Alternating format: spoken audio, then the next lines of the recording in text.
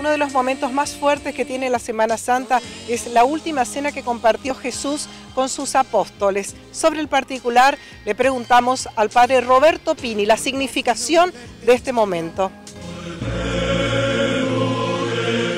El jueves santo por la tarde, es decir, al aparecer porque el trío pascual se rige por el calendario lunar y además también cuando aparece la primera estrella de ese día, así como aparece el viernes, para el judío ya comienza el sábado, para el cristiano va a comenzar ahí el trío pascual con la cena del Señor, es decir, ese día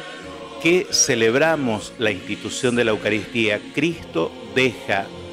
en el corazón de la iglesia su presencia, su cuerpo y su sangre, aquello que va a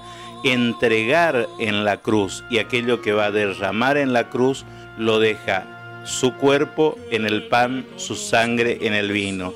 Además también instituye el sacerdocio ministerial, es decir, porque encomienda a sus discípulos que esto de la cena, de la Eucaristía, lo hagan en memoria suya hasta que Él vuelva, es decir, hasta su segunda venida. Y por otro lado, más significante todavía, que se desprende de la misma presencia de Cristo en la Eucaristía el mandato a la caridad. Es decir, el sacerdocio está en función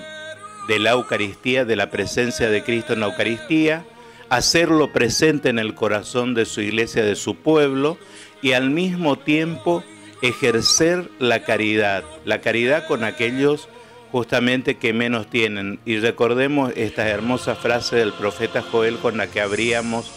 el miércoles de ceniza o el tiempo de la cuaresma.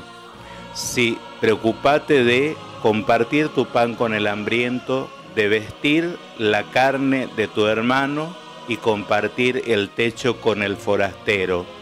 entonces tu justicia despuntará como la luz de la aurora en tu frente, decía, y cuando tú invoques al Señor, Él te dirá, aquí estoy. Qué hermosa frase del profeta para que nos vuelva a reavivar el don de la caridad.